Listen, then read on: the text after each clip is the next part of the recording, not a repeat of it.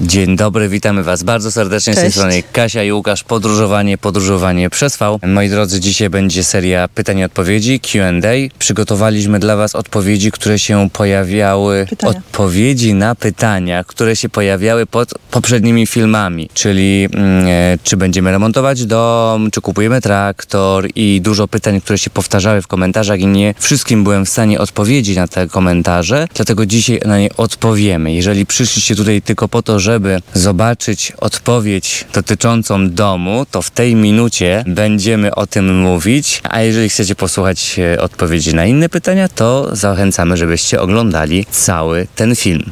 Zanim jednak zaczniemy, to chciałbym bardzo serdecznie podziękować wszystkim osobom, które oglądały mój odcinek związany z moim nałogiem alkoholowym. 19 sierpnia w mojej urodziny opublikowałem taki osobisty film, taką osobistą historię dotyczącą mojego uzależnienia. I muszę wam powiedzieć, że jestem zdziwiony, no pozytywnie, odbiorem tego filmu. Bardzo się bałem, że to będzie już koniec naszego kanału, że przestaniecie nas oglądać, że odsubskrybujecie i że po prostu rozpęta się w komentarzach jakaś fala hejtu. No po prostu przez cały dzień, aż do publikacji byłem taki, taki chodziłem zdenerwowany i nie wiedziałem, czy ja to powinienem publikować, czy nie powinienem publikować. Ale czytając komentarze i czytając historie osób, które podzieliły się swoją refleksją, swoją historią, wspomnieniami, przeżyciami związanymi z nałogami, ze współuzależnieniem, z uzależnieniem, to doszedłem do wniosku, że to po prostu opłacało się zrobić ten film, bo wielu osobom chyba ta historia pomogła. Taki był też cel, żeby moje świadectwo pomogło komuś w rozstaniu się z nałogiem. I chyba się to udało. Cieszę się, że film się bardzo dobrze oglądał, że są komentarze. Bardzo serdecznie Wam dziękuję też za prywatne wiadomości. No bardzo serdecznie Wam dziękuję. Jestem... Ja się popłakałam. Tak? No, czytając wiadomości i, komentarze i to, jaki to miało odbiór. No, bo to jest taka trudna kwestia, dosyć bolesna. Jeszcze się o tym nie za dużo mówi otwarcie. A kiedy się zaczyna mówić otwarcie, już nawet nie chodzi o tylko historię, tylko też po prostu o emocjach, o tym, o doświadczeniu, to naprawdę porusza. Gdzieś tam ty się otworzyłeś i otworzyli się inni i, i, i czuć było po prostu, że weszliśmy na jakiś taki głębszy poziom i to było bardzo piękne. Dziękuję Wam bardzo. Ja odnośnie tego filmu tylko chciałbym dodać, bo tam o tym, jak sobie ja radziłem z uzależnieniem, to już powiedziałem, natomiast pojawiły się też komentarze od osób współuzależnionych, czyli powiedzmy żony, której mąż pije, albo córka, albo tak dalej. E, Moi drodzy, jeżeli poszukujecie pomocy, to są takie grupy Al-Anon. Tam jest profesjonalna pomoc dla osób współuzależnionych, więc jeżeli macie w swoich otoczeniu, w swojej rodzinie kogoś, kto się zmaga z alkoholizmem albo z narkomanią, jakimkolwiek im uzależnieniem, to warto się udać do takiej grupy Al-Anon, bo tam można uzyskać profesjonalną pomoc. Ja mam dużą wiedzę na ten temat, natomiast no, musiałbym tutaj poświęcić na to wiele godzin, żeby to wszystko powiedzieć, a tam powiedzą wam dokładnie co i jak. Przede wszystkim otrzymacie tam dużo wsparcia od osób współuzależnionych. I tam was ktoś zrozumie i wysłucha i to jest niewiarygodne. Jak dużo robi po prostu właśnie bycie wysłuchanym i zrozumianym. Ja muszę odgonić kotka, ponieważ ona się bawi teraz statywem. Kici, kici, kici. Chodź tutaj, kochana. To ja w tym czasie powiem wam jeszcze e, jedną rzecz, że pierwsza część vloga tego filmu będzie przeznaczona na takie dłuższe wypowiedzi, a druga część e, to będą takie flashowe odpowiedzi, czyli szybkie pytanie i szybka odpowiedź, tak żebyśmy odpowiedzieli na wszystkie pytania, bo też część tych pytań właśnie z tej drugiej części zadawaliście nam na social mediach.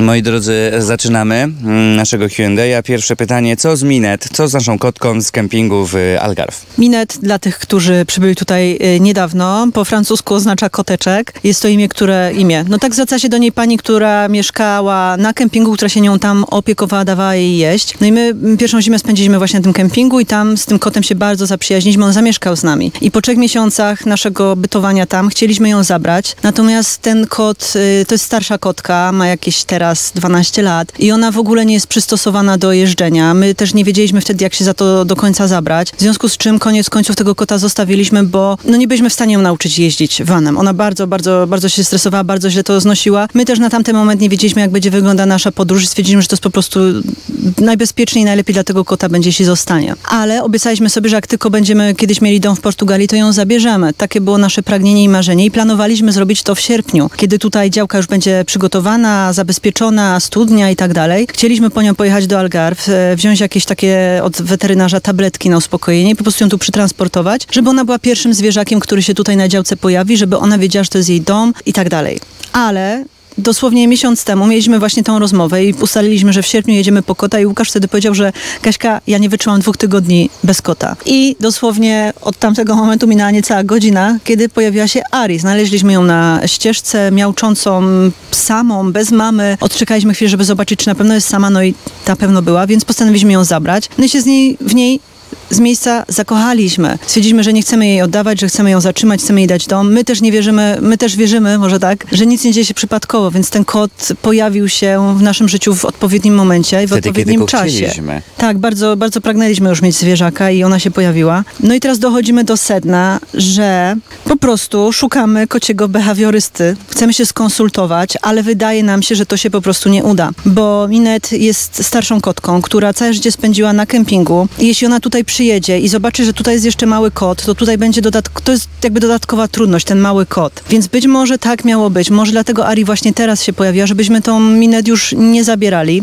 Aczkolwiek jeszcze się nie poddaje, jeszcze tli się we mnie nadzieja i właśnie szukamy e, kons- konsultacji z kocim behawiorystą, czy jest w ogóle taka opcja, czy lepiej ją zostawić, bo chcemy, chcemy to skonsultować z kimś, kto się zna na zwierzętach, bo moim marzeniem jest po prostu jak najlepsza przyszłość dla Minet. Nie chodzi o mnie, nie chodzi o, o, o Łukasza, o to, jak bardzo się do niej przywiązaliśmy, tylko chodzi o to, żeby ona miała fajną emeryturę, bo to już jest taka kocia babcia. No i wydaje nam się tak roz- zdroworozsądkowo, że lepiej będzie na tym kempingu, ale bardzo chcielibyśmy ją tutaj zabrać, więc jeśli znacie jakiegoś kociego behawiorystę, jeśli sami nim jesteście, to proszę odezwijcie się. Bardzo chętnie porozmawiamy, zasięgniemy takiej fachowej porady. No natomiast tak zdroworozsądkowo wydaje nam się, że po prostu już nie będziemy jej tutaj ciągnąć, bo jednak Minet nigdy nie lubiła kotów innych. Nigdy nie lubiła młodszych kotów, mni, nawet troszeczkę młodszych. Ja pamiętam, że jak były takie sytuacje na kempingu, że ona, tam jakiś młodszy kot podszedł i tam się chciał z bawić, to ona go tylko pacnęła i koniec. Tam nie było nigdy zabawy. Ona już jest taką babcią, 14 czy 15 lat ten kot ma. I takim indywidualist... Tak, i ona tylko jej śpi, ona nie ma ochoty na zabawę, nigdy się nie bawiła specjalnie, więc ona nie lubiła zabaweczek i tak dalej, a ten nasz młody kot, to on po prostu tylko się bawić chce. Cały czas, całą dobę.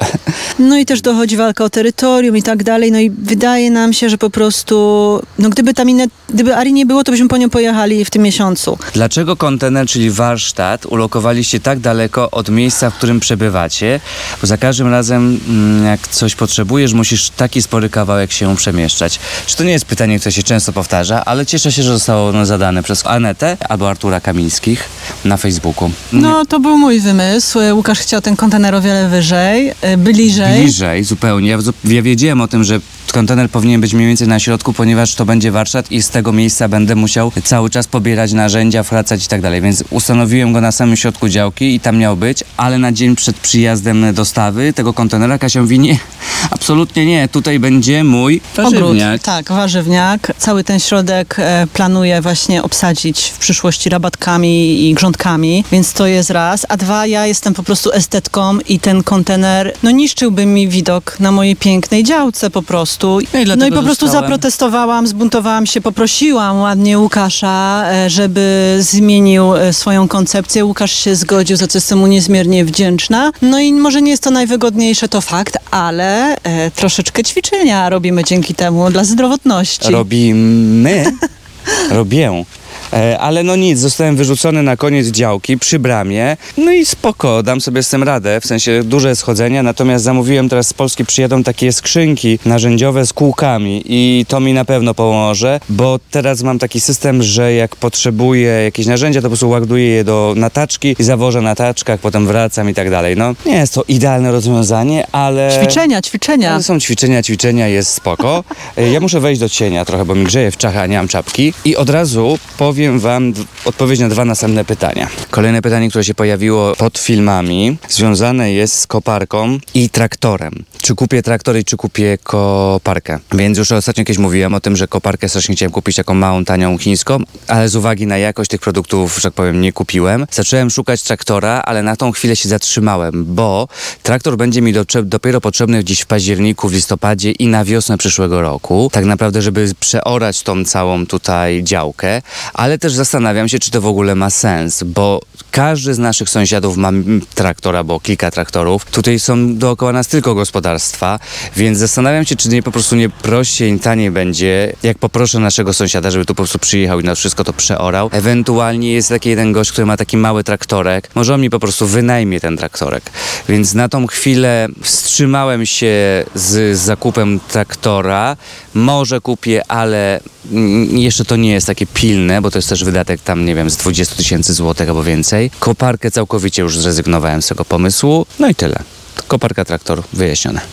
Kolejne pytanie mm, związane jest z nazwą kanału. Czy będziemy zmieniać nazwę kanału z podróżowanie na jakieś, nie wiem, majsterkowanie albo na słodowanie? Padła taka propozycja, ponieważ jest jakiś Adam Słodowy i ja przypominam tego Adama Słodowego i ktoś nas zaproponował, żebyśmy nazwali słodowanie. No, A, na słodowanie było, na pewno nie.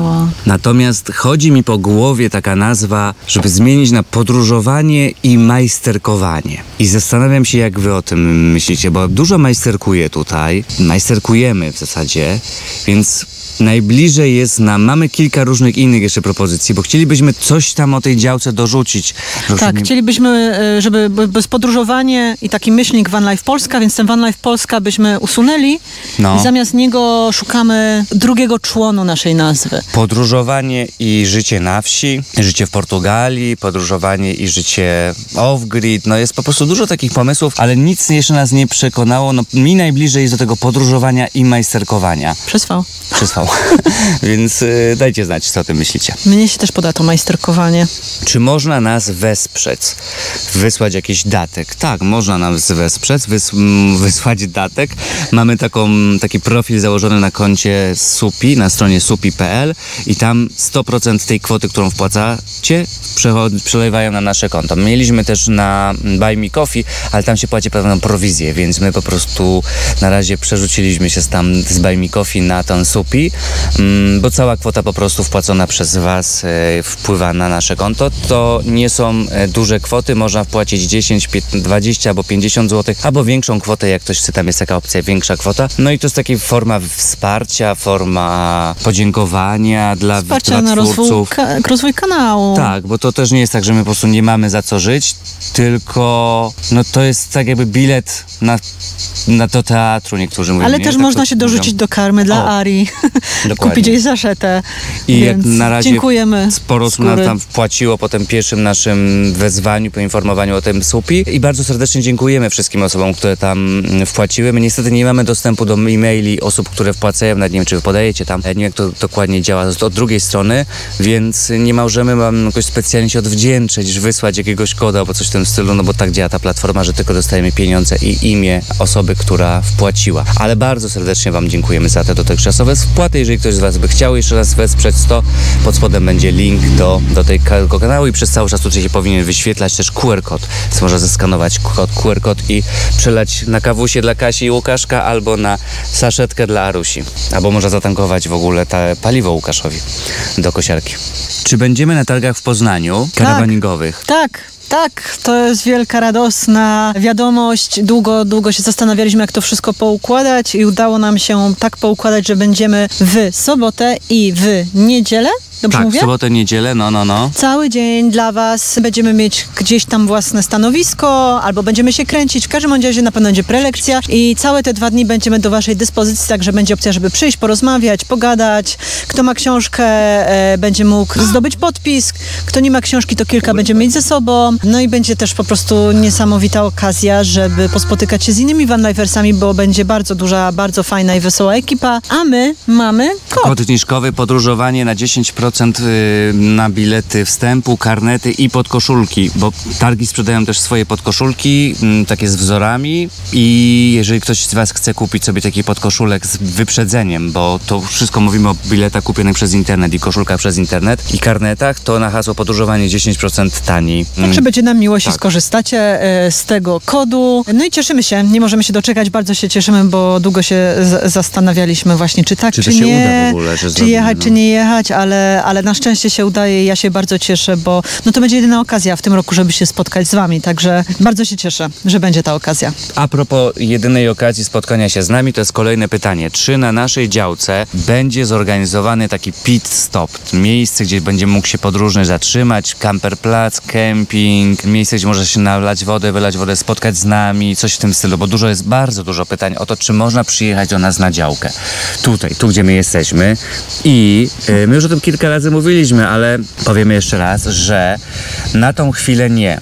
Przykro nam, ale nie przyjmujemy na razie gości, ponieważ na razie chcemy sobie to zorganizować po swojemu. Chcemy poświęcić czas sobie i działce e, i nie otwieramy się na razie na takie turystyczne aktywności, w sensie odwiedzanie przez turystów, kamperowców, przyczepowców, motocyklistów i tak dalej, bo to też zajęłoby nam dużo czasu, bo każda z takich wizyt to trochę zajmie Działka czasu. nie jest przede wszystkim gotowa, my też jeszcze nie jesteśmy gotowi na to, e, więc e, po prostu to jest taki czas dla nas i, i dla tworzenia własnego domu, więc na razie potrzebujemy, żeby ta przestrzeń była właśnie tylko nasza. Natomiast nie wykluczamy, nie wiemy co się wydarzy w przyszłości. Tak, tak czujemy, że być może będzie tu miejsce właśnie na przyjmowanie gości, może za rok, może za dwa, może za trzy, ale jeszcze nie do końca wiemy na jakich warunkach. Być może i prawdopodobnie nie będzie to miejsce otwarte cały czas, może to będą jakieś warsztaty. Zobaczymy, ale to też jest tak, że my nie jesteśmy na żadnej trasie. To nie jest tak, że ktoś jak jedzie do Portugalii albo do Algarve, albo gdziekolwiek, to przejeżdża przez naszą wioskę. My jesteśmy zupełnie w Poza szlakiem. poza szlakiem. No, ktoś musiałby specjalnie nadłożyć dosyć sporo kilometrów, żeby tutaj przyjechać. Stąd ten pomysł na warsztaty, żeby tu był też jakiś cel podróży. Tak, ale no, dużo osób się pytało, czy kamperem jak będzie przejeżdżać przez Portugalię, czy będzie mógł się zatrzymać na chwilę, albo chociaż wypić kawkę z nami. No każda z takich kawek to po prostu mnóstwo czasu, to jest godzinka, pół godzinki, dwie godzinki, pięć godzin, a czasami cały wieczór. A ja po prostu tutaj ciosam cały czas, jakiś projekt za projektem i, i dobrze mi się na razie pracuje samemu. Z przykrością, ale na tą chwilę nie, natomiast tak jak Kasia powiedziała, może w przyszłości tak i wydaje mi się, że w przyszłości tak, jak już tutaj wszystko zostanie mi zrobione, kanalizacja, woda, to wszystko będzie popodpinane, zabezpieczone i tu będzie po prostu czysto wysprzątane, to wtedy tak, ale na tą chwilę to jest plac budowy i, ja jeszcze tutaj nawet nie, nie wyobrażam sobie, gdzie miałbym tu coś, kogoś przenocowywać. Tak, ale bardzo dziękujemy za Wasze pytania i bardzo je doceniamy. My wiemy skąd one się biorą, bo my też kochamy poznawać e, ludzi, szczególnie ludzi, którzy, z którymi dzielimy wspólne pasje i są to miłe pytania, natomiast no, na, na chwilę obecną e, niestety odpowiedź brzmi nie. Mm, Moja kotka ugryzła mnie. Ała, ała, ała. No chodź. Ale gaduła z niej. Kolejne pytanie to jest najpopularniejsze pytanie w ever. Co dalej z domem? I idziemy teraz właśnie na drugą część naszej działki, na górną część. Kot tu jest chyba pierwszy raz w ogóle, e, ever. tak. Nigdy tu nie było. Więc pomyśleliśmy, że nagramy tą odpowiedź tu właśnie przy tym domu, który na 100% się zawala. No na pewno mi odpadło trochę tych dachówek. Bierzemy się za nie w. No, no, no, no, no. Trzeba się za to wziąć.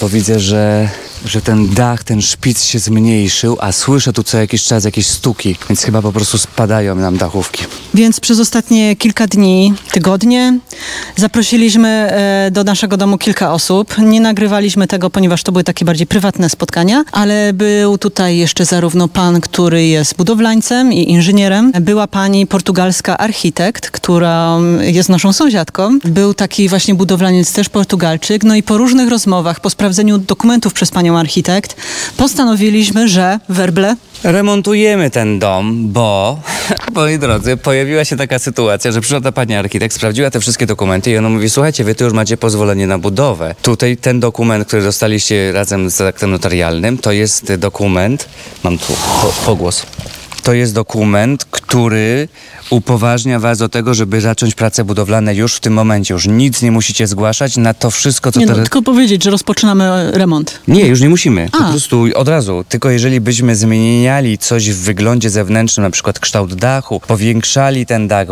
jakieś okna dachowe, to wtedy musimy to zgłosić, no bo to jest układ, jak to się nazywa? Mm, zagospodarowanie terenu, coś tak, takiego. tak. Więc ktoś po prostu na tym musi czuwać. Tak, w Portugalii A- bardzo o to dbają. Nie ma takiej samowalki budowlanej, że każdy sobie buduje co chce. E, Tutaj trzeba mieć zatwierdzone wszystko. Jezu, to jest Łącznie z nawet wyglądem dachu, czy on jest spadzisty, czy nie spadzisty, wszystko. I Więc budowlaniec, to trzeba akurat zgłaszać. architekt i inżynier budowlany i wszystkie te osoby, które tutaj były, to mówiły, że jeżeli mamy w takim stanie ten dom, jakim jest i mamy już pozwolenia i mamy papiery i możliwość rozbudowania tego, bo tu jest to wszystko, co tutaj jest, dom jest 47 metrów, ale Cała ilość zabudowań to jest 100 metrów kwadratowych i my możemy te 100 metrów odtworzyć. Po prostu to, co się zawaliło albo jest tam w kiepskim stanie, tego pomieszczenia gospodarcze, one są wliczone jako mie- pomieszczenia mieszkalne, więc my mamy 100 metrów domu tutaj do zrobienia. No nie na ciekawym kształcie, ale z pomocą architekta jesteśmy w stanie to e, zrobić. Jeszcze mamy jednego architekta w Polsce, który nam teraz właśnie rysuje to wszystko, ponieważ wymyśliliśmy sobie, jaki byśmy chcieli układ, jak to wszystko zrobić, więc możliwe, że nie będziemy bo wyburzać tych ścian, możliwe, że będziemy wyburzać te ściany, jeszcze sami nie wiemy, jak to wszystko wyglądać będzie, W natomiast... każdym bądź razie e, w tym roku, bo nam się ogólnie nie spieszy z budową tego domu. Chcemy to zrobić na spokojnie, ile się da własnymi rękami. Czujemy, że będziemy też dużo rzeczy odtwarzać tymi starymi metodami, żeby właśnie zachować ten stary dom, bo ten dom, mimo że wyglądał okropnie, jest naprawdę w dobrym stanie. I tą okropność sprawiał tylko ten zawalony dach i te mchy, które narosły, ale nie ma wilgoci, nie ma grzyba, więc wszystko jest super. Więc w tym roku plan jest taki, że odnawiamy dach, robimy dach od Zamawiamy ekipę, Ściągamy która- te dachówki, które są, zamawiamy ekipę, przyjdzie pan budowlaniec, on postawi nam dach. Być może wybijemy jedno okno albo i drzwi i potem zabezpieczymy na zimę jakimiś foliami, czy może ten dach wystarczy, żeby ten dom e, w trakcie deszczowej zimy nie namakał po prostu. I to tyle na ten rok. To tyle, bo my nie planowaliśmy w ogóle remontu tego domu, nie planowaliśmy budowy tego domu w tym roku. To wszystko jest tylko dlatego, że strasznie dużo osób pisze, żebyśmy się wzięli za ten dom, więc bierzemy się za ten dom, ale tak No jak nie, no mówię, też coś trzeba było zrobić, trzeba było podjąć decyzję, czy go ratujemy, czy nie. I ja się bardzo cieszę, mimo że układ jest nieidealny i że to nie jest idealny dom i to nie jest jakiś piękny dom, który warto zachować, to jednak to nam oszczędzi bardzo dużo czasu i pieniędzy. I ja się też bardzo cieszę, ponieważ ja ostatnio bardzo lubię drugi obieg. Znaczy zawsze lubiłam rzeczy z drugiego obiegu, ale jakoś tak ostatnio bardzo mi na tym zależy, żeby prezerwować stare rzeczy. Jeśli je da odtworzyć, to żeby je odtwarzać, żeby je ponownie używać, bo ten konsumpcjonizm teraz jest za duży. I nam też będzie łatwiej, jakby nie będziemy musieli stawiać tego domu, tylko odbudować, więc dla nas to będzie po prostu łatwiej, będziemy mogli o wiele więcej zrobić sami. Boże, tylko weźmiemy, pomalujemy tutaj na biało i tyle, okna umyjemy i już tutaj się Tak. wprowadzam, że w przyszłym tygodniu. Okna są i wszystko wymyjemy. Śpiwór ci wrzucimy. Okryje się tą pierzyną z tego, z, tego, z tego mchu, co tam rośnie na ścianie.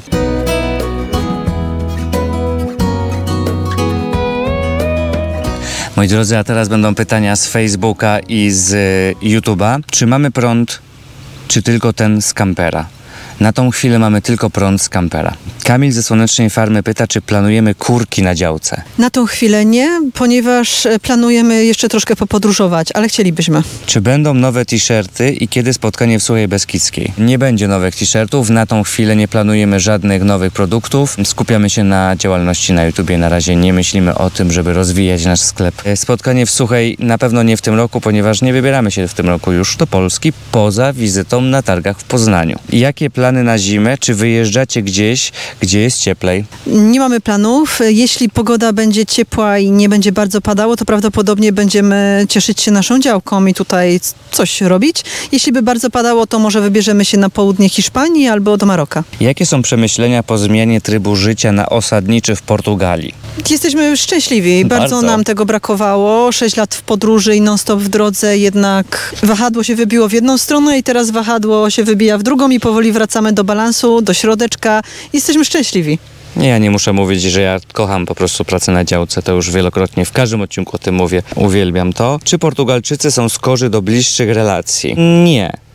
Są, są otwarci, ale nie są tacy, żeby po prostu tu przychodzili. Chociaż jeden sąsiad nas odwiedził. Z wieloma sąsiadami mamy bardzo dobre stosunki. Dzisiaj na przykład byłem u naszej sąsiadki na e, ciasteczkach. Natomiast oni, to nie jest tak jak Hiszpanie. Z, za krótko mówić o przyjaźni. Portugalczycy są zdecydowanie bardziej zamknięci i jeszcze nie wiemy, czy uda nam się z kimś zaprzyjaźnić.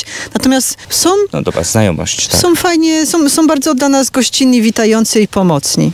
Tak. Bardzo nas lubią tutaj w wiosce, jesteśmy dla nich atrakcją. Jakie są zimy w Portugalii, jeśli chodzi o używalność konstrukcji z drewna? No w tej części Portugalii, w której my mieszkamy, czyli w centralnej, tu jest bardzo dużo deszczu w zimie. Bardzo dużo pada deszczu, dlatego staram się te wszystkie moje konstrukcje zabezpieczać lakierami i różnymi drewnochronami. Nie wszystko udało mi się zabezpieczyć, bo też jestem, że powiem, zabiegany i czasami mi zależy na tym, żeby to szybko skończyć, a nie żeby to zabezpieczyć. Natomiast staram się teraz y, przy tych nowych projektach dokładnie wszystko pomalować odpowiednim impregnatem. A teraz pytania z YouTube'a, mm, z naszej społeczności. Jest 10-12 pytań. Czy przed zimą będziecie mieszkać w domku czy w busie? Na pewno nie będziemy mieszkać w tym górnym domku. Planujemy wybudować mały domek na dole. No, chcemy go mieć gotowego na zimę, yy, ale kiedy dokładnie to będzie, to nie wiemy, bo jeszcze nie zaczęliśmy go nawet budować. Mieliśmy go budować w sierpniu, a sierpień mija i ani widu, ani słychu, ale y, w zimie na pewno, w którymś momencie zimy się do niego wprowadzimy.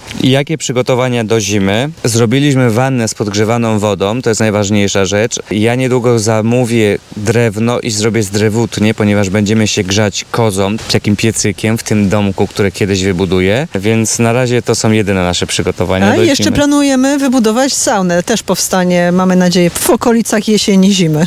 Nie wiem, czy wy to widzicie, ale kot po prostu łapie swój ogon. Jak się czujecie? Ja się czuję wspaniale, ja się czuję cudownie, jeszcze zwłaszcza teraz jak wyrzuciłem z siebie to, co mi zalegało, to ja się czuję wspaniale.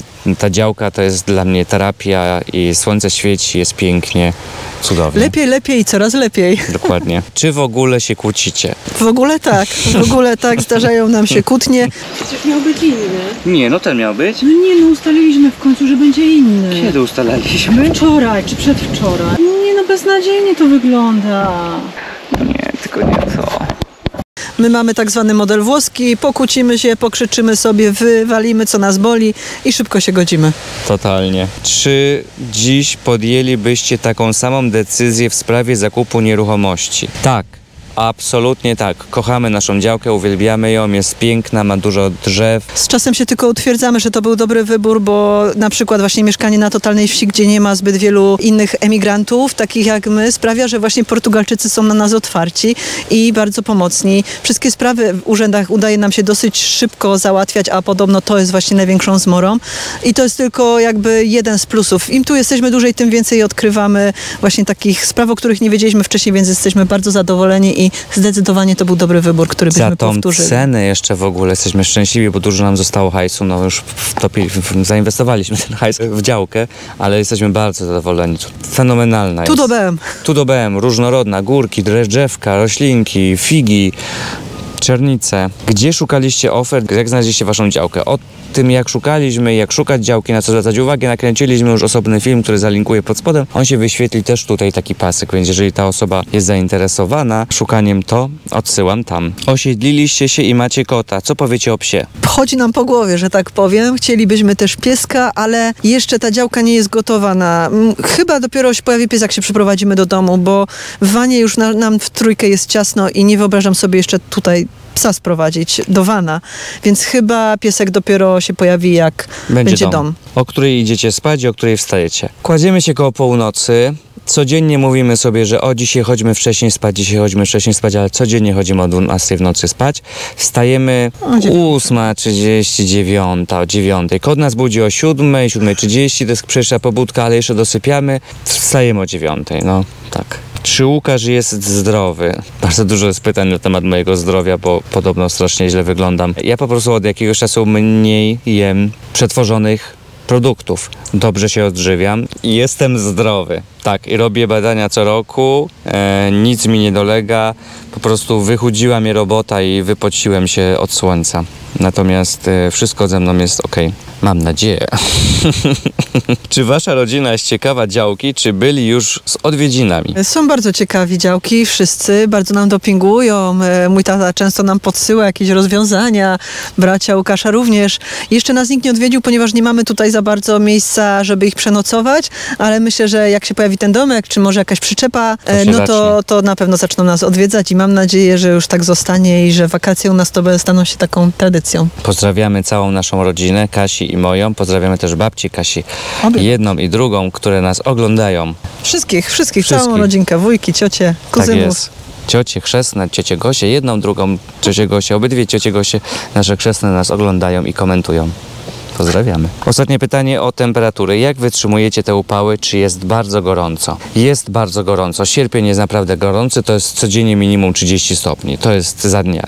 Sierpień jest cały 30, lipiec był taki optymalny z trzema dniami takimi powyżej 30, prawie 40, natomiast czerwiec był taki przyjemny, taki jak w Polsce. My też mamy to szczęście, że mieszkamy w takim międzygórzu, w takim, o, takim bardzo polskim klimacie. Mi to przypomina polskie lato, bo nie jest tak upalnie, nie jest tak sucho, jest zielono dookoła, co jakiś czas pada deszcz.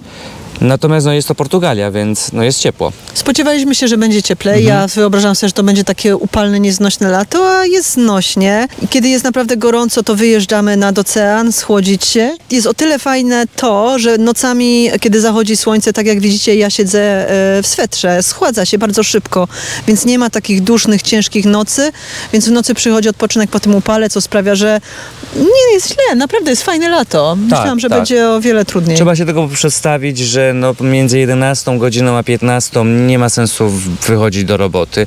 Jeżeli coś się robi, to w cieniu, bo na słońcu to się traci energię bardzo szybko. I... Najlepiej siesta. No tak, tak, tylko że no, jak się zaczyna robotę od Się chce 11, to wiem. w każdym bądź razie tyle jest pytań. Nie, niestety nie byliśmy w stanie odpowiedzieć na wszystkie, bo na YouTubie było ponad 50 pytań i trwałby ten film bardzo długo. Mm, Natomiast postaram się jeszcze posiedzieć trochę pod tym filmem, więc jeżeli macie jakieś pytania do nas, to piszcie śmiało, a ja będę odpowiadał na te pytania w miarę możliwości wieczorami, jak wracam do Wana z pola. Dziękujemy Wam bardzo za dzisiejszy odcinek. Życzymy Wam wspaniałego tygodnia i do zobaczenia za tydzień w kolejnym vlogu. Tym razem będziemy gościć Pana z koparką. To już Wam mogę zdradzić. Część już widać tam w tyle, co ten Pan tutaj nawyczyniał. I ostatnio we vlogu ktoś zauważył wprawne oko właśnie zarys koparki, także, Tak? No, no. także już się wszystkiego dowiecie za niedługo. No. Pozdrawiamy Was bardzo serdecznie. Jeśli możecie, zostawcie łapkę, komentarz. Trzymajcie się, dobrego tygodnia, cześć. Pa, pa, pa. Pomachaj do naszych widzów.